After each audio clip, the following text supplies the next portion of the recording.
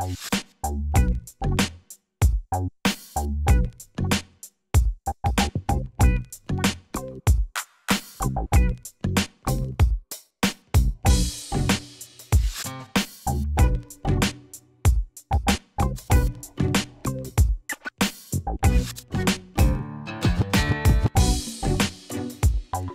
les enfants, bonjour les parents. Aujourd'hui mardi, s'ouvre une nouvelle séance de catéchisme hebdomadaire sur Caté Live. Nous allons aborder un thème qui se déroulera sur trois séances autour des anges de Pâques. Le Père Patrice Saunier va vous présenter ce thème et aujourd'hui nous allons nous concentrer sur notre ange gardien qui nous protège, qui nous conseille et qui nous suit. Vous allez pouvoir réaliser votre propre petit ange gardien que vous garderez sur votre petit hôtel, dans votre chambre. Et Estelle vous commentera ce thème de l'ange gardien pour que vous puissiez aborder cette semaine en toute confiance.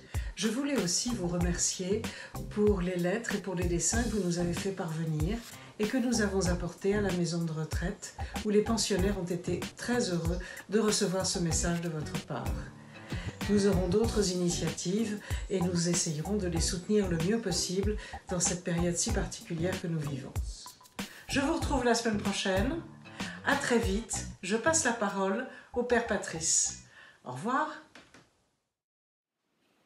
Merci Fabienne. Bonjour les enfants. Voilà. Et c'est à mon tour, donc je prends la parole de vous rejoindre et vous-même de me rejoindre dans ce lieu que vous connaissez bien, qui est la chapelle du Saint-Sacrement. Derrière moi, il y a Jésus crucifié sur la croix qui nous rappelle qu'il nous a aimés jusqu'au bout, jusqu'à donner sa vie pour nous par amour. Et il se trouve présent euh, au tabernacle, la petite lumière. Hein. Jésus est présent dans le Saint-Sacrement de l'autel. Alors je me trouve euh, ici dans cette chapelle pour vous parler aujourd'hui, comme vous avez donc découvrir le thème des anges, et tout particulièrement des anges gardiens. Alors, lorsque je célèbre la messe, il y a autour de l'autel des êtres invisibles, des esprits, les anges qui sont là avec nous, qui prient avec nous. Ce sont aussi donc des protecteurs, ils nous protègent. Je voudrais donc vous parler aujourd'hui des anges gardiens tels que euh, l'Écriture sainte euh, nous le rappelle. Avant toute chose, les anges gardiens, donc, ce sont ceux qui protègent chacun d'entre nous. Alors, les enfants, avant de naître, où étions-nous? Oui, nous étions dans le ventre de maman. Mais avant d'être dans le ventre de maman, nous étions dans le cœur de Dieu, un cœur qui bat, le cœur de Dieu plein d'amour.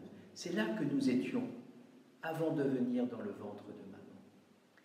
Et quand nous sommes venus euh, dans ce monde, dans la famille qui est la nôtre, dans le sein de maternel, dans le ventre de maman, notre âme était accompagnée par un ange, un ange gardien. Eh bien, cet ange gardien, nous ne le voyons pas avec nos yeux, je ne le vois pas à côté de moi, mais je peux le découvrir, le rencontrer, le connaître et l'écouter avec le cœur, les yeux du cœur, l'oreille du cœur. Eh bien, c'est la Bible qui nous rapporte que Dieu nous a créés par amour et qui nous a confié notre ange gardien. C'est, nous le retrouvons, le roi David. Vous vous souvenez du roi David? C'est ce roi qui est né à côté de Jérusalem, à Bethléem, et qui est né d'une famille, la famille de Jessé. Ce roi David a composé un poème qui nous parle des anges et des anges gardiens. Ce poème du roi David, Jésus lui-même, derrière moi, Jésus lui-même, quand il était tout petit, le méditait, le priait dans son cœur. Ce psaume que maintenant je vous fais la lecture. Quand je me tiens sous l'abri du Très-Haut et repose à l'ombre du Puissant, je dis au Seigneur, mon refuge, mon rempart, mon Dieu dont je suis sûr. C'est lui qui te sauve des filets du chasseur et de la peste maléfique. Il te couvre et te protège. Tu trouves sous son aile un refuge. Sa fidélité est une armure, bouclier. Tu ne craindras ni la terreur de la nuit, ni la flèche qui vole au grand jour. Il donne mission à ses anges de te garder sur tous tes chemins. Ils te porteront sur leurs mains pour que ton pied ne heurte les pierres. Voilà l'ange que le Seigneur nous donne pour nous protéger. Eh bien, Jésus a été toute sa vie en présence des anges. Il y a trois moments dans la vie de Jésus où l'on évoque la présence des anges. Le premier moment de la vie de Jésus, c'est lorsqu'il est né. Il est né à Bethléem, et vous vous souvenez, dans la nuit de Noël, nous chantons la gloire de Dieu. Nous chantons avec les anges qui étaient tout près de Jésus dans euh, la crèche avec Marie et Joseph. Les anges chantent la gloire de Dieu. Le deuxième moment que l'on trouve Jésus avec les anges, c'est lorsqu'il va commencer sa vie publique. Il a 30 ans et le voici, malgré lui, emmené au désert pendant 40 jours. C'est le carême. Pendant 40 jours, Jésus va rentrer dans une grande solitude, tout seul, dans le désert, il va être tenté par, Satan, le diable, mais il va résister au mal. Et dans la solitude, à la fin des 40 jours, que se passe-t-il? Eh bien, les anges servent Jésus. Voilà ce que nous dit Matthieu l'évangéliste. Alors le diable le quitte et voici que des anges s'approchèrent et ils servaient Jésus. Troisième texte important pour nous, des anges, c'est précisément la fête de Pâques. Vous vous souvenez, à Pâques, lorsque les apôtres sont allés au tombeau, ils n'ont pas vu le Seigneur ressuscité, les apôtres et les femmes qui sont allés au tombeau. Soudain, les femmes au tombeau ouvert aperçoivent des anges qui le disent ressuscité, Jésus est ressuscité. Enfin, à la fin de notre temps pascal, lorsqu'on va fêter l'ascension de Jésus au ciel, on a ce récit des actes des apôtres qui nous rapporte que les apôtres eux-mêmes revoyaient monter au ciel Jésus et des anges leur apparurent et leur dit, voilà, Jésus reviendra de la même manière à la fin des temps. Les anges, donc, sont toujours avec nous et il nous aide à écrire l'histoire. Alors les enfants, je termine par votre ange gardien. Il est celui qui aussi vous aide à écrire votre histoire. Il y a trois moments qui peut nous arriver dans notre vie tous les jours, où nous pouvons être à l'écoute des anges, notre ange gardien que nous écoutons, cette petite voix dans notre cœur. C'est à la maison, par exemple. Lorsque je suis dans la cuisine et que je m'approche du four dans lequel se trouve un gâteau en train de cuire, je peux être tenté de mettre la main sur le feu et de risquer de me brûler. Il y a toujours une petite voix dans mon cœur, c'est la voix de l'ange gardien qui me dit, attention, ne touche pas. Si j'écoute bien mon cœur et mon petit ange gardien qui veille sur moi, je me préserve de la brûlure. Deuxième chose qui peut nous arriver lorsque nous allons dans la rue. Dans la rue, il n'y a pas que des passants, des personnes qui marchent, il y a aussi des voitures.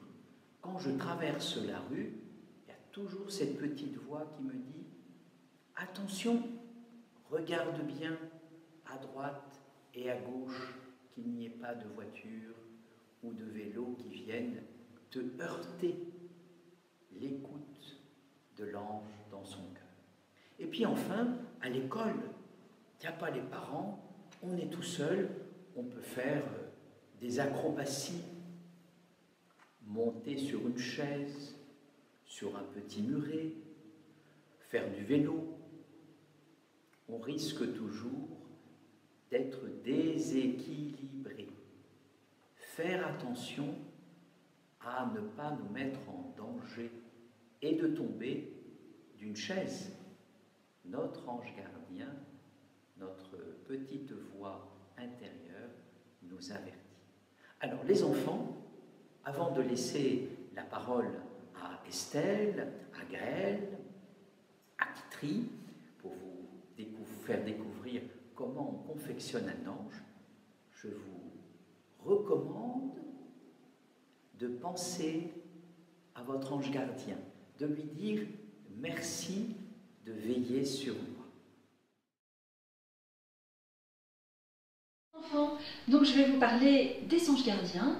Les anges gardiens eh bien, sont déjà une preuve que Dieu nous aime euh, plus que tout, puisque non content d'être avec nous tous les jours, euh, eh bien, il nous donne un gardien, un protecteur, un ange qui nous ressemble, qui est toujours avec nous. Et je vais vous raconter des, petites histoires pour euh, vous faire comprendre un petit peu l'importance de ces anges gardiens. Il y avait un saint, Saint Padre Pio, un prêtre, qui aimait beaucoup s'adresser à ces anges. Et je vous donnerai juste une petite anecdote parce qu'il en a beaucoup dans sa vie. Eh bien, un jour, un ami prêtre lui dit bah, De toute façon, les anges gardiens, euh, voilà, ils n'existent pas. C'est une histoire pour les enfants. Et Padre Pio lui a dit Ah oui, tu crois ça? Eh bien, regarde, il lui a dit de regarder droit dans ses yeux, et là, son ami prêtre a découvert non pas une, mais deux silhouettes qu'il voyait dans la pupille de Padre Pio alors qu'il était seul dans la pièce. C'était sans doute son ange gardien. Eh bien, aussi, je m'adressais souvent aux anges gardiens quand euh, j'étais encore euh, en stage à l'hôpital, quand j'étais aux urgences. C'est toujours un petit peu angoissant quand on me dit qu'il y a un patient qui va pas bien et que dans un autre service, il y a un autre patient qui va pas bien. Donc je laissais mon ange gardien au chevet du premier patient qui n'allait pas bien et j'allais m'occuper du deuxième. Ça s'est toujours bien passé, heureusement, grâce à mon ange gardien. Et euh, Dernière petite histoire, eh bien j'ai été très touchée par euh, une amie qui un jour euh, m'a dit que euh, lorsqu'elle entendait une, homélie à la messe et qu'il y avait quelque chose qu'elle avait envie de, retenir, de, noter en fait, pour pas l'oublier, eh bien plutôt que de sortir un carnet et un crayon en pleine messe, ce qui est toujours un petit peu délicat, elle confiait ce qu'elle avait envie de retenir à son ange gardien. Et elle m'a dit, il ne m'a jamais fait défaut. Voilà, donc n'hésitez pas à vous adresser à vos anges. Et euh, donc vous allez voir que cette semaine, on vous propose un petit bricolage pour euh, fabriquer un petit ange en papier qui vous rappellera la présence de votre ange gardien. À la semaine prochaine Bonjour les enfants du caté Aujourd'hui, nous allons vous proposer un petit bricolage autour du thème de l'ange gardien. Nous allons vous proposer de réaliser un petit ange. Vous allez voir, c'est très facile, mais vous pouvez quand même demander à un de vos parents de vous aider. J'espère que ça vous plaira et n'hésitez pas à faire ce petit bricolage en famille.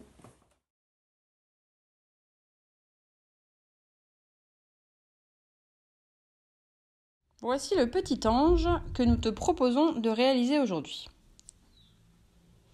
Pour réaliser ton ange, il te faut une feuille carrée de 12 cm de côté. Tu peux bien sûr choisir une feuille plus grande ou plus petite, mais il te faudra alors un peu adapter les proportions de l'ange. En tout cas, la feuille doit toujours être carrée. Et il te faut aussi une paire de ciseaux, un crayon et une règle, même si on ne voit pas la règle sur la photo. Commence par plier la feuille en deux dans le sens de la hauteur. Tu te retrouves avec un rectangle de 12 cm de longueur et 6 cm de largeur. Dispose ton rectangle avec le long côté plié sur ton côté gauche. À peu près au milieu du long côté, pose ton pouce sur le papier et trace l'arrondi avec ton crayon. Voilà ce que tu obtiens. Le haut de l'arrondi touche bien le bord du rectangle, mais en bas de l'arrondi, il faut s'arrêter un peu avant le bord. Trace ensuite une deuxième ligne, arrondie comme sur la photo, le long de la première. En haut, les deux lignes ne se touchent pas, mais elles se rejoignent en bas. Cela forme comme une petite corne. Trace un repère environ 1 cm au-dessus et un deuxième repère environ 1 cm en dessous. Trace une ligne arrondie entre les deux repères. En haut, cette ligne touche le bord, mais pas en bas. En utilisant une règle, trace un repère de l'autre côté du rectangle. Comme tu le vois, le repère se trouve à peu près en face du bas de la petite corne. Entre le coin en haut à gauche et le repère que tu viens de tracer, trace trois petits repères à peu près à la même distance les uns des autres. Un premier repère, puis un deuxième, puis un troisième. Trace des demi-cercles pour rejoindre ces repères. Cela forme comme un petit nuage ou le dos d'un mouton. En fait, ce seront les ailes de l'ange. trace un arrondi jusqu'au coin en bas à gauche. Pour arriver à tracer un joli arrondi, nous avons placé un repère après à peu près à mi-chemin. C'est le moment d'utiliser tes ciseaux. Commence par découper les ailes de l'ange. Prends ton temps pour cette étape qui est la plus délicate.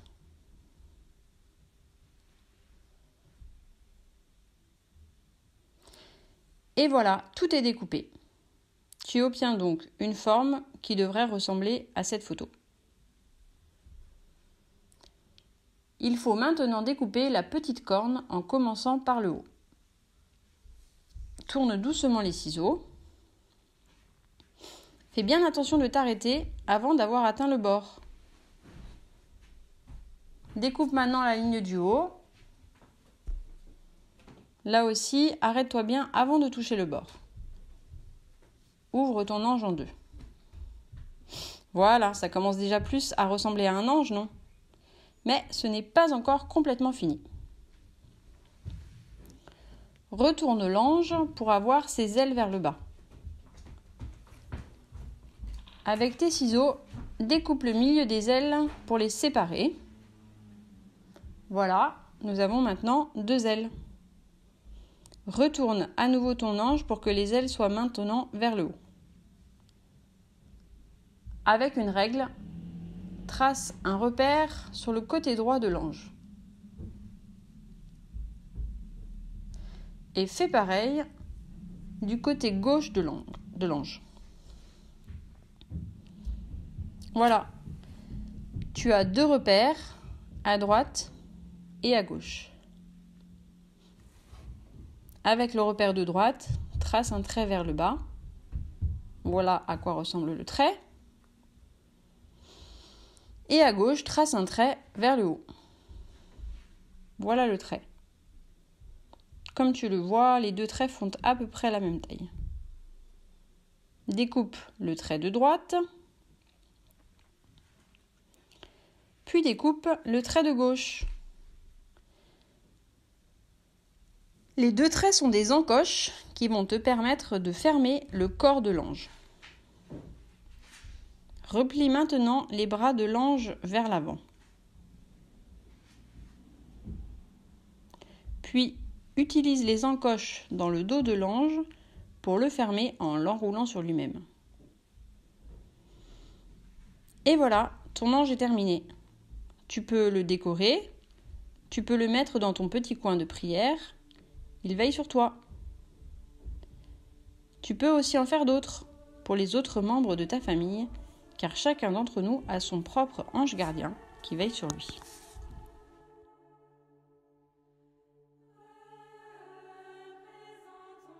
Je vous dis à dimanche et nous aurons donc à cœur de poursuivre notre, notre catéchèse autour des anges et notamment les anges à la messe autour de l'autel lorsque le prêtre célèbre la messe.